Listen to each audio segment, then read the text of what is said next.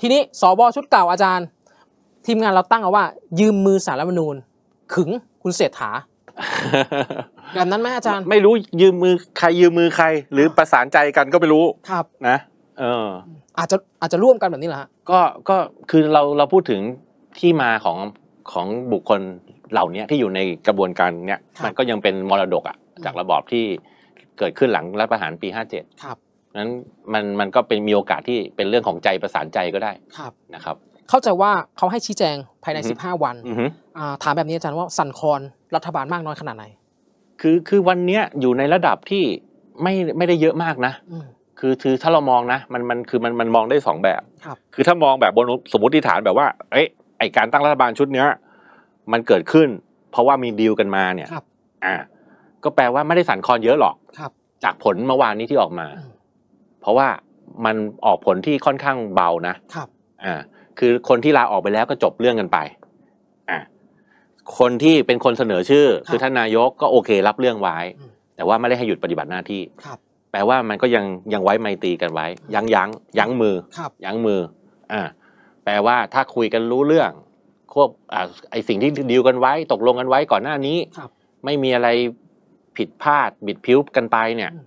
อะเราก็เดินหน้า อยู่ต่อด้วยกันครับอ่าอ๋อก็แบบนี้คือเป็นเรื่องของดิวการดิวนะอาอ่าจารย์ถ้าเรามองบนสมมติฐานว่ามันมีดีลมาก่อนไงในการจัดตั้งรัฐบาลข้ามขั้วสลายขั้วแบบเนี้ยครับเออแปลว่าวันเนี้ยมันเป็นการกระชับดีลผมใช้คำนี้ คือยังไม่ถึงกับหักดีลคนบางคนบอกมันหักดีลกันอืมหรือว่ามีคนพยายามจะหักดีลอีกฝ่ายหนึ่งเลยโต้กลับอะไรเงี้ยอ่าแต่ผมมองว่าไม่หรอกแค่กระชับดีลอ่า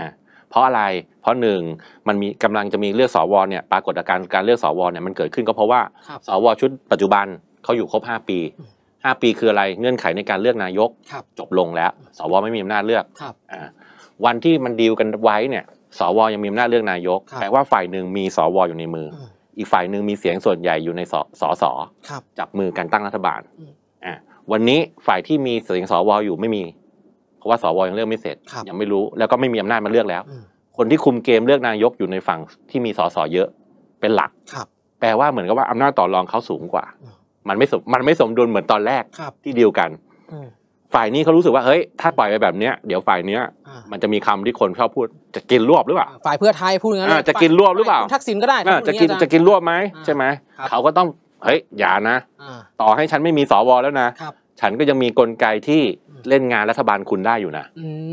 มโอ้ถ้ามองมุมนี้ก็อ่าก็เห็นภาพนะอาจารย์ว่าอ่าสวชุดเก่าเนี่ยหมดอำนาจไปนะอือฮึหมดอำนาจในการเลือกนายกอือหือลงไปอ่าก็คุณทักษิณเนี่ยก็เขาเรียกว่าไงอาจารย์ได้เปรียบขึ้มันได้เปรียบได้เปรียบขึ้นมาอ่าเครือข่ายคุณทักษิณอ่าผมใช้คำนี้แล้วกันอาจารย์โอเคอะทีนี้กลุ่มฝั่งอำนี้นาจเขาเลยบอกว่าเฮ้ยมันบางคนเขาใช้คำถูกเหมือนกับว่าเอ้ยอาจจะเป็นแค่การสั่งสอนครับว่าเฮ้ยถึงฉันจะไม่มีสวที่บวชนายกได้ก็จริง แต่อย่าทำอะไรตามใจชอบ แล้วมันผิดไปจากที่คุยกันไว้นะครับอ่าผิดไปจากที่ดีลกันไว้นะอืมไม่งั้นเนี่ย ฉันยังมีกลไกที่เอารัฐบาลเธอลงได้นะอืมอ่าเตือนอ่าอ่าไปอีกสิบห้าวันอ่าก็ค่อยๆดูกันแบบนี้เหรอครับอาจารย์ ก็ก็อาจจะยื้อกันไปก็ได้ จริงๆอะถ้าเกิดเอาให้ชัวร์เนี่ยก็คือมันอาจจะพ่วงกันด้วยนะ กับสถานการณ์ปัจจุบันอะวันเนี้ย เช่น ดูผลของการเลือกสวมา ว่ามันได้อย่างที่คุยกันไว้ไหมอืมอืมอ่าวันเนี้ยครับวันเนี้ยแน่นอน คือเราพูดถึงว่าเฮ้ยสวก็เป็นเกมการเมืองอันหนึงในการที่จะชิงอำนาจกันเนี่ยครับแปลว่าถ้าดีลกันไว้ดีๆ เนี่ยแปลว่าสส่วนผสมของสวที่ออกมา แม้ว่านะอืมต่อให้นะ ผลลัพธ์จะเป็นกลุ่มจัดตั้งซะส่วนใหญ่นะครับแปดสิบเก้าสิบเปอร์เซ็นต์นะ หรือร้อยเปอร์เซ็นต์นะ แต่ไม่ได้แปลว่าจะเป็นคนของฝ่ายการเมืองอย่างเดียวอืมมันต้องมีคนที่เป็นคนของฝ่ายอำนาจเก่าผสมเข้าไปด้วย อ๋ออ่าแม้ครับแม้ว่าฝ่ายการเมืองจะเป็นตัวหลักในการดันคนขึ้นมานะอ่าแต่ว่าสุดท้ายอะการดันเนี่ยมันต้องตรงตรงโพยที่วางกันไว้ ตรงสิ่งที่คุยกันไว้ตอนแรกอ่าแล้วสัดส่วนมันต้องได้กัน ไม่ใช่ใครได้เปรียบครับ ไม่ใช่ใครได้เปรียบหมายความว่า พอไปถึงจังหวะที่จะให้สวทำงานเนี่ยครับฝ่ายการเมืองสามารถสั่งได้อยู่ฝ่ายเดียวอืมฝ่ายที่เขาอยู่ข้างหลังเขาสั่งไม่ได้ไม่ครับก็ไม่ได้นะอ่ามันต้องมีคนของเขาที่เขาสามารถไว้ใจได้ครับ ผสมเข้าไปด้วย ทีนี้เราจะดูอะไรต่อ อือฮึเราดูยังไงต่ออาจารย์ เกมนี้ เกมนี้ก็ดูว่าอะมันอาจจะยืดเยื้อไป ผมคิดว่าเต็มที่ก็ประมาณสักหนึ่งเดือน ครับ ซึ่งไทม์ไลน์มันก็จะพอดีกับไอ้จังหวะที่เราเลือกสวเสร็จอ๋อครับ อืมถ้าทุกอย่างมันลงตัวก็ happy ending คือไปดูว่าสิ่งที่คนคุยกันไว้เนี่ย อือฮึมันเป็นแบบนั้นไหมอ่าถ้าหนึ่งเดือนเลือกสวเสร็จเห็นหน้าตากันหมด อะจบจบ อะใช่ จบ ไอ้ที่อะไรไปดึงไปล้างไปขึงกันไว้เนี่ย อ่าก็ปล่อย อ่าแล้วก็อ่าใน ตัวฝ่ายบริหารคอรมอที่ว่างว่างกันอยู่เนี่ยครับมีการเติมคนเข้าไปใหม่ หรือมีการสลับเก้าอี้อะไรเพิ่มเติมอีกไหมให้มันลงล็อกกับครับดีลที่คุยกันอืมอะเพราะบางคนก็พูดถึงว่าเอ้ยมันเป็นปฏิบัติการทวงดีลอืมในบางตำแหน่งที่ยังไม่ที่คุยกันไว้แต่ยังไม่ได้อย่างเงี้ยเออ มันอาจจะเกิดขึ้นไหมในรอบนี้อืมเมื่อมีคนลาออกไปตั้งสองคนครับอย่างเงี้ยอ่าโอ้คุณผู้ชม ผมว่ามุมมุมนี้คืออาจารย์วิเคราะห์ได้ ได้เห็นภาพนะอาจารย์ว่าโอ้โหครับถ้ามันเป็นการดีลเนี่ยนะเขารอจังหวะกันนะคุณผู้ชมอือฮึอือฮึแต่เราไม่รู้แหละบางคนก็เชียร์ไปอะนะอาจารย์เราในในฐานะประชาชนว่าใช่ทั้งซ้ายใช่ทั้งขวาก็ใช่ก็เชียร์กันไปแต่อาจารย์มาฉายภาพให้เห็นว่าโอ้โหนี่คือกลุ่มอำนาจอือหือทางเป็นชนชั้นนำนะอาจารย์ ชนชั้นนำชนชั้นนครับำชนชั้นนำเขาเล่นเกมกันนะณตอนนี้ใช่ไหมอาจารอ่าย์คือมันเป็นเรื่องปกติมาก พอครับหลังเทศกาลลงคะแนนเสียงโดยประชาชนเนี่ยอืมอำนาจมันมักจะเล่นกันอยู่เฉพาะคนที่เขา รับอำนาจจากเราไปแล้วรับมอบอำนาจจากเราไปแล้วครับกว่าเขาจะกลับมาหาเราอีกทีนึงอะนู่นรอเขายุบสภาให้มีเลือกตั้งใหม่อะครับณเขาวันถึนั้งนกลับมางอนง้อเราสักครั้งหนึ่งอ่าเออพูดอะไรก็ดู เราอยากได้อะไรก็ดูเดี๋ยวดูจะได้ได้ไปหมดอะดูจะได้ไปหมดนะอ่าวันเนี้ยลองไปบอกโอ้อยากได้คนนั้นมันเป็นรัฐมนตรีอ่าอยากได้นโยบายโน้นนโยบายนี้ครับอื้อหือเขาถ้าถ้าเขาคุยกันแล้วมันไม่ใช่เขาก็ไม่รับอ่าไม่รับทราบครับ อืมแต่ว่าวันที่มาขอคะแนนเสียงโอ้โหได้ทุกอย่างหมนะได้จรทุกอย่างได้ทุกอย่างอุปสรรค ของเขาเรียกระบบข้าราชการไม่มีปัญหาโอ้อาจารทะย์ลวงได้ทุกท่อครับครับครับอะคุณผู้ชมแสดงความคิดเห็นกันเข้ามาได้อยู่กับเรา 1,500 คนนะครับ บางคนบอกโอ้โหคุณกู๊ดเนี่ยบอกว่าสู้โว้ยแล้วก็ยิ้มนะครับครับนี่ยังมีกำลังใจนะคือคุณผู้ชมที่ดูรายการเรารู้สึกว่ามีกำลังใจอืมแล้วก็รู้สึกว่าไม่หมดหวัง ผมว่าอยากอยากให้อ่าอยากให้อยู่ในบรรยากาศนี้นะอาจารย์ว่าใช่ ไม่อย่าหมดหวังคืออ่าอย่างน้อยค่อยๆขยับไปก็ได้ คือคือเท่าที่รับรู้รับทราบอะอืมช่วยกันเชียร์หน่อยพวกเราจะได้มีกำลังใจเพิ่มเติมครับเท่าที่ผมรับรู้รับทราบเนี่ยมีหลายๆกลุ่มครับ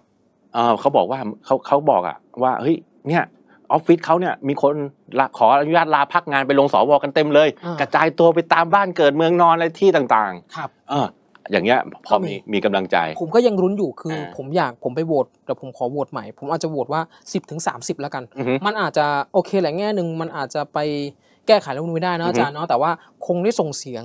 ให้สังคมที่คือตัวแปรหนึ่งคือประชาชนเนี่ยขยับกันมากขึ้นนะอาจารย์ก็อยากให้เป็นแบบนั้นคุณผู้ชมในรายการเราหลากหลายคนกำลังใจยังดี แล้วแสดงความคิดเห็นเข้ามาผมขอบคุณไม่นะที่นี้นะชวนกันคุยแต่ว่าให้เห็นภาพว่าอือฮึอือฮึมันจะอาจจะเดินไปประมาณนี้ประมาณนี้อ่าแต่เราก็ยังมีลุ้นเล็ก ๆ เช่น ปริมาณของคนที่มีหัวใจประชาธิปไตยอืมที่กระจายตัวกันไปลงสมัครอย่างเข้มแข็งครับสองเราก็ต้องหวังว่าเสียงจัดตั้งเนี่ยอืมมันจะขังก็ต่อเมื่อ มันต้องโหวตลงล็อกกันด้วยนะอืมอืมอืมยังไงไม่ใช่รับโพยเข้าไปแล้วพอไปถึงหน้างานโหวตผิดคนนะครับอ่ามันก็มีสิทธินะ คนอ่าที่ไม่ได้มีหัวใจจะเข้าไปเลือกจริงจังอ่าจริงจังจังจังคุเนี่ณยเออร์เลอร์ระบบคุณเออเข้าไปอยู่ในบรรยากาศอะกกตคุมเข้มขึ้นมาครับจะมาจดชื่อคนนู้นคนนี้เข้าไปก็ใช่นะอืมเออสมมติว่าคุณคุณแฮงค์ขึ้นมาอ่าคุณคือลวนล้วนไม่รู้ทำไงเอาวะสงสัยคนนี้แหละอ่ากามั่วเลยครับอ่ามันก็มีสิทธิ์ไงอ่ามันไอ้ที่มันล็อกไว้ล็อกเป้าไว้ล็อกผลไว้อะมันก็ไม่เป็นไปตามล็อกก็ได้ไงอืม เพราะว่าถึงหน้างานแล้วมันก็ขึ้นอยู่กับตัวคนที่ถูกถูกถูกจ้างวานเข้าไปแล้วล่ะอ๋ออ่าขอให้เป็นแบบนั้นอ่าขอให้เป็นแบบนั้นขอให้ขอให้รวนขอให้รวนบ้างครับอ่าอย่าให้มัน perfect ขนาดโอ้วางว่าจะไปเลือกคนนี้ปุ๊บเป๊ะเลยครับไขว้กลุ่มก็ยังเป๊ะอีกเนี่ยอ่านะอย่างน้อยๆไอ้ระบบไขว้อะมันก็จะช่วยแหละครับคือในกลุ่มเดียวกันอะมันอาจจะเป๊ะอืมว่าอาจต้องไปคนนี้คนนี้คนนี้อืมแต่พอไขว้แล้วเนี่ยมันมันรวนละเพราะว่า 20 กลุ่มนี่มันไม่รู้จะไปโดนกลุ่มไหนก่อนอะครับอ่า ก็ขอให้รวนนะคุณผู้ชมอ่าขอให้รวนแต่ถ้าใครตั้งใจไป ขอให้มีสติอือฮึครับก็อือฮึตั้งใจสมมติว่าบางคนตั้งใจไปโหวตก็ได้นะอาจารย์อ่าโหวตที่ถูกใช่อ่าแล้วที่สำคัญก็คือวันเนี้ยอ่าเมื่อเมื่อบรรยากาศมันเปิดครับด้วยคำสั่งศาลปกครองแล้วนะอืมเราเปิดหน้าเปิดตาแสดงตัวแนะนำกันได้มากขึ้นเนี่ยครับก็พยายามหาศูนย์รวมอืม หาเป้าหมายร่วมอ่าคือคือเราไปอิสระแล้วยังไปกระจายกระจายโหวตอีกเนี่ยอ่ามันจะไม่ได้คนที่ที่เป็นอิสระ คือถ้ามองในแง่บวกคือคำสั่งของศาลปกครองในวันเนี้ยอ่าคือโอเคแหละเราเข้ามาน้อย สมมติว่าฝ่ายประชาธิปไตยอือฮึหัวใจประชาธิปไตยเข้ามาน้อยอือฮึแต่วันนี้คุณต้องเห็นแล้วว่าใครคือเป้าของคุณที่คุณจะเลือกใช่ถ้าเราล็อกเป้าชัด สมมติบอกอาจารย์พนัทอืมอะ สมมตินะสมมติเฉยๆนะ ผมไม่ได้เชียร์เดี๋ยวอาจารย์จะเออผมเดี๋ยวผมอาจารย์สมมุติเฉยๆนะเออผมสมมุติเฉยอาจารย์พรอาจารย์พนัทจะยุ่งนะๆแปลว่าอะไรยกตัวอย่างแปลยกตัวอย่างนะแปลว่ารอบอำเภอ ถ้าอ้าวเจออาจารย์พนัทในวงเว้ยอืมก็โหวตให้ครับเงี้ยรอบจังหวัดไปไขว้เจออ้าวเราก็โหวตให้อย่างเงี้ยครับมันมันต้องล็อกเป้าไงว่าเราจะโหวตใครอืมอ่าเจอนายเอในเออะสมมุติในใช่เอคนนี้ก็ได้เอออ่าครับ ไม่รู้อาจารย์คือ เสียวตลอดกลัวใช่ไหมกลัวใช่ไหมคือเนี่ยมันคือจะไปเดือดร้อนคนที่เราเอ่ยชื่อไงอยู่ในบรรยากาศแบบนี้จริงๆนะคุณผู้ชมคือเราพูดอะไรเราก็เราก็ต้องกลัวเออเออทั้งทั้งที่มันไม่ควรถูกไหมมันไม่ควรคือคือผมก็ไม่ได้ยอมรับว่าเฮ้ยเออเราต้องควรพูดได้หรือเพราะเราใช่ตั้งใจยกตัวอย่างจริงแต่เพราะว่าสุดท้ายอะต่อให้เราไม่ไปเลือกอะอืมสวที่จะมาทำหน้าที่อะครับเขาก็อ้างในรัฐธรรมนูญว่าเป็นผู้แทนปวงชนชาวไทยอืมซึ่งคือใครก็คือเราอืมถูกไหมใช่เราจะไม่มีสิทธิ์เราจะพูดถึงอะมีสิทธิ์แต่ว่านี่ไงอาจารย์คือมันก็จะตีกันในสมองเฮ้ย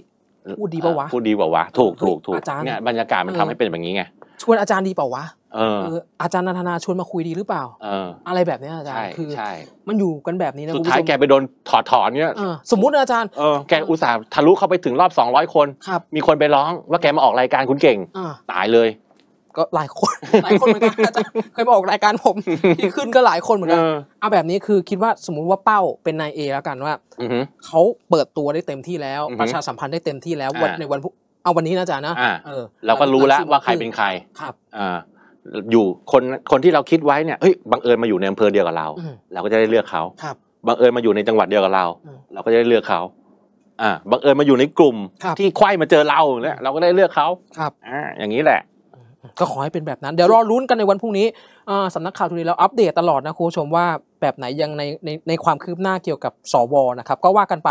มันก็ดูเหมือนจะนานแต่ว่าก็ไม่นะอาจารย์สวใกล้แล้วนะใช่ใกล้แล้วเริ่มแล้วนี่วันที่เท่าไหร่อะสองแล้วก็เก้าใช่ไหมครับหรือว่าเก้าสิบหกแล้วยี่หกเลยทำนองนี้ใช่ไหมอ่าเก้าสิบหกยี่หกนะคุณผู้ชมแสดงความคิดเห็นกันเข้ามานะครับสำนักข่าว Today Make Tomorrow Today